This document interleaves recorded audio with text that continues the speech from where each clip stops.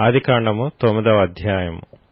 మరియు దేవుడు నోవహును అతని కుమారులను ఆశీర్వదించి మీరు ఫలించి అభివృద్ధి పొంది భూమిని నింపుడి.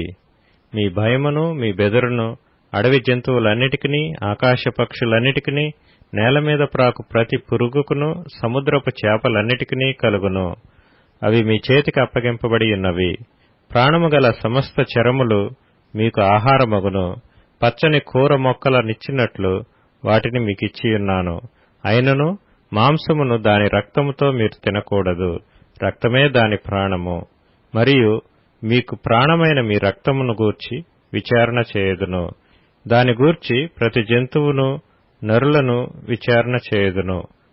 ప్రతి నరుని ప్రాణమును గూర్చి వాని సహోదరుని విచారణ చేయుదును. నరుని రక్తము చిందించు వాని రక్తము నరుని వలననే చిందింపబడును. ఏలయనగా దేవుడు తన స్వరూపమందు నరుని చేసెను. మీరు ఫలించి అభివృద్ధి నందుడి. మీరు భూమి మీద సమృద్ధిగా సంతానము కని విస్తరించుడని వారితో చెప్పెను. మరియు దేవుడు నోవహు అతని కుమారులతో ఇదిగో నేను మీతోనూ మీ తదనంతరము మీ సంతానముతోనూ మీతో కూడానున్న ప్రతి జీవితోనూ పక్షులేమి పశువులేమి మీతో కూడా సమస్తమైన భూజంతువులేమి ఓడలో నుండి బయటకు వచ్చిన సమస్త భూజంతువులతోనూ నా నిబంధన స్థిరపరచుతున్నాను నేను మీతో నా నిబంధన స్థిరపరచుదును. సమస్త శరీరులు ప్రవాహ జలముల వలన ఇకను లయపరచబడరు. భూమిని నాశనం చేయుటకు ఇకను జల ప్రవాహము కలగదని పలికెను.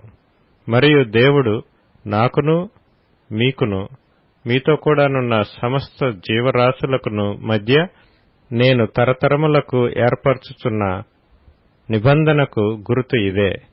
మేఘములో నా ధనుస్సును ఉంచితిని. అది నాకును భూమికిని మధ్య నిబంధనకు గుర్తుగా నుండును. భూమిపైకి నేను మేఘమును రప్పించినప్పుడు ఆ ధనస్సులో మేఘము కనబడును. అప్పుడు నాకును మీకును సమస్త జీవరాశులకును మధ్యనున్న నా నిబంధన జ్ఞాపకము చేసుకుందును. గనక సమస్త శరీరులను నాశనము చేయుటకు అలాగు ప్రవాహముగా నీళ్ళు రావు. ఆ ధనస్సు మేఘములో నుండును. నేను దాని చూచి దేవునికిని భూమి మీదనున్న సమస్త శరీరులలో ప్రాణము గల ప్రతి దానికిని మధ్యనున్న నిత్య నిబంధనను జ్ఞాపకం చేసుకుందునెను మరియు దేవుడు నాకును భూమి మీదనున్న సమస్త శరీరులకును మధ్య నేను స్థిరపరచిన నిబంధనకు గుర్తు ఇదే అని నోవహుతో చెప్పెను.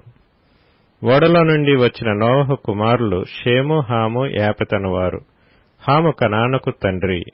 ఈ ముగ్గురు నోవహు కుమారులు వీరి సంతానము భూమి అందంతటా వ్యాపించెను. నోవహు వ్యవసాయము చేయనారంభించి ద్రాక్ష తోట వేసెను. పిమ్మట ద్రాక్షారసము త్రాగి మత్తుడై తన గుడారములో వస్త్రహీనుడుగా నుండెను. అప్పుడు కనానుకు తండ్రి అయిన హాము తన తండ్రి వస్త్రహీనుడై ఉండుట చూచి బయటనున్న తన ఇద్దరు సహోదరులకు ఆ సంగతి తెలిపెను.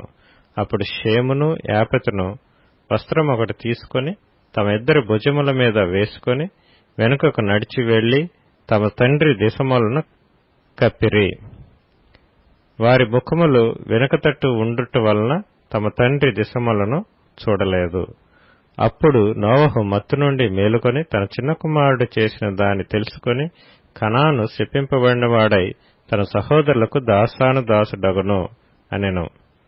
మరియు షేము దేవుడైన యహోవా స్థుతింపబడునుగాక కణాను అతనికి దాసుడగును. దేవుడు యాపెతను విశాలపరచును. అతడు షేము గుడారములలో నివసించును. అతనికి కనాను దాసుడగును అనెను. ఆ జలప్రవాహము గతించిన తరువాత నోవహు మూడు వందల యాభై ఏండ్లు బ్రతికెను. నోవహు బ్రతికిన దినములన్నీయు తొమ్మిది వందల యాభై ఏండ్లు. అప్పుడతడు మృతి పొందెను.